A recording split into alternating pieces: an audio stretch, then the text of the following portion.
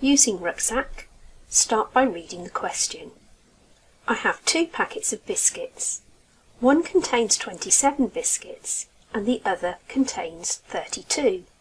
How many biscuits are there in total? Understand what the question's asking you to do. How many biscuits are there in total? We need to choose the operation and the numbers we're working with. The clue, how many in total, indicates that we're adding. And the numbers we're adding together are 27 and 32. Now we need to solve this, and for this video we're going to use the partitioning method. And if you're not sure about the partitioning method, there are some videos to help you with that as well. To partition 27, we have 20 and 7, and to partition 32, we have 30 and 2. 20 add 30, that's 50.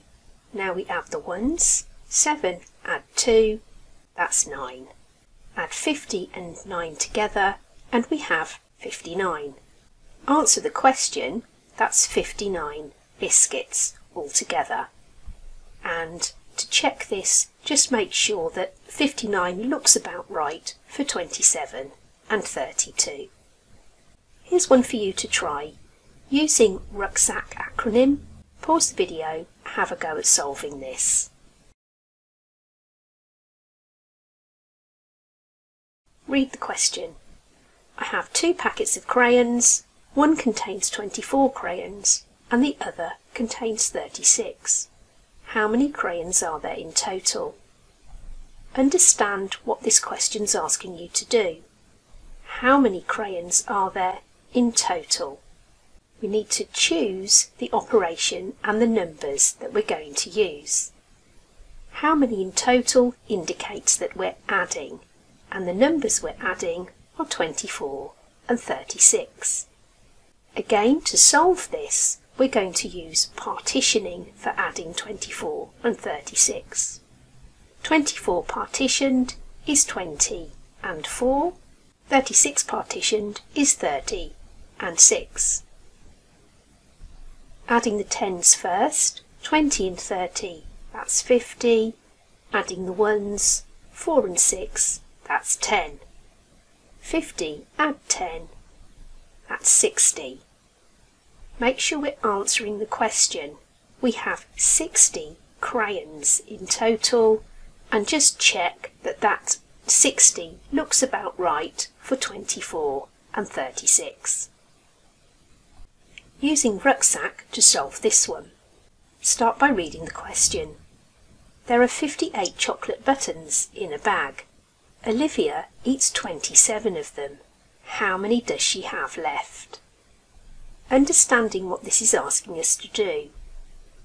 We're asked to find how many chocolate buttons she has left.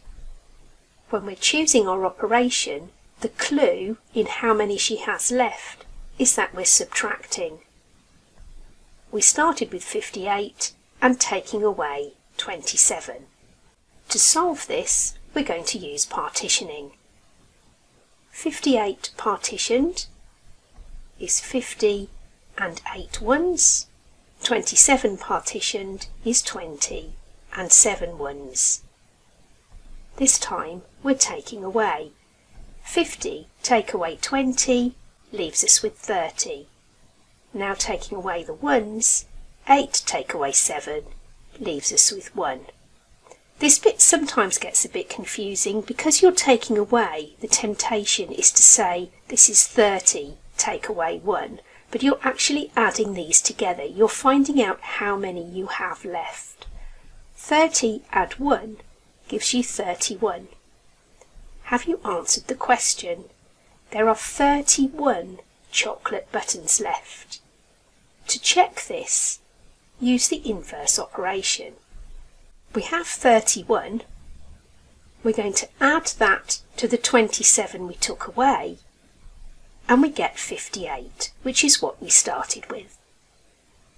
And here's one for you to try. Using RUCSAC, pause the video, have a go.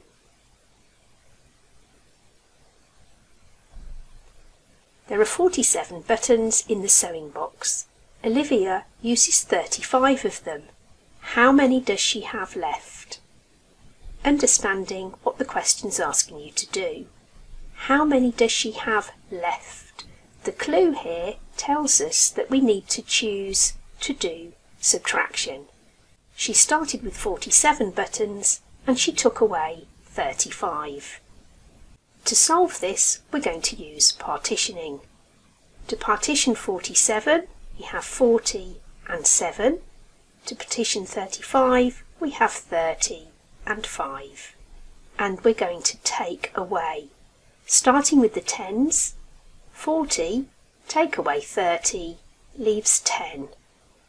Now taking away the ones, 7, take away 5, leaves 2 we're left with one lot of 10 and two lots of 1. So we add those together.